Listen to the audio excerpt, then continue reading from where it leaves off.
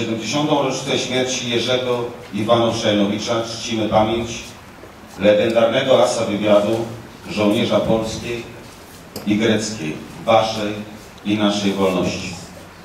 To dzięki ludziom takim jak on możliwe było zwycięstwo w tej wojnie, której stawką były losy Europy i świata.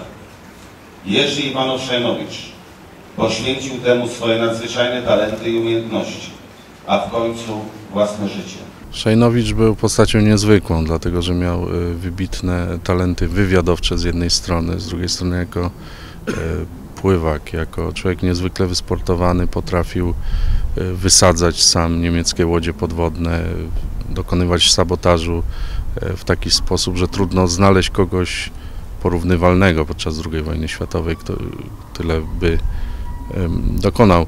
Alianci zachodni mówili, że dokonał tyle, ile jedna dywizja, to mówi samo za siebie. Jerzy Iwanow-Szajnowicz e, tutaj zorganizował jedną z pierwszych właściwie grup takich e, konspiracyjnych, dywersyjnych przeciwko niemiecko-włoskiej okupacji e, w Grecji.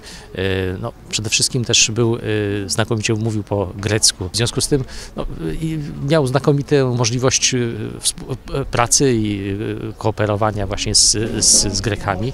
Potrafił się przebierać za dostawać się do baz. To jest bardzo, bardzo ciekawe, że, że potrafił z, pozyskać zaufanie ludzi i potrafił zorganizować ich. To było jakiś fenomenalny wyczyn tego, tego człowieka, który pomógł właśnie Grekom no, w zorganizowaniu się, w nabraniu odwagi, w tym, żeby oni też mogli wystąpić przeciwko okupacji.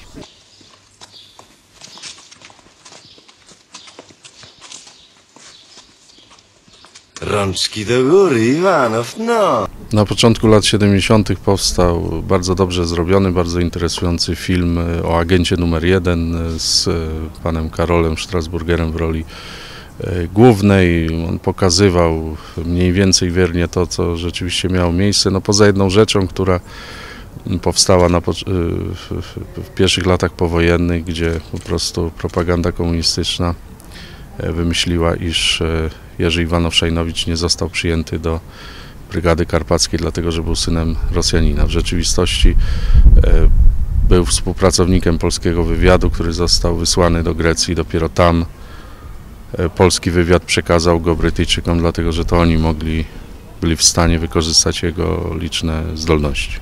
Jerzy Iwanow-Szajnowicz był jednym z najwybitniejszych, najbardziej skutecznych agentów alianckich podczas II wojny światowej. Warto przypominać takie postaci, bo coś z tą naszą europejską pamięcią jest chyba nie tak, skoro tak wybitny Polak, dywersant, wywiadowca nie doczekał się chociażby biografii.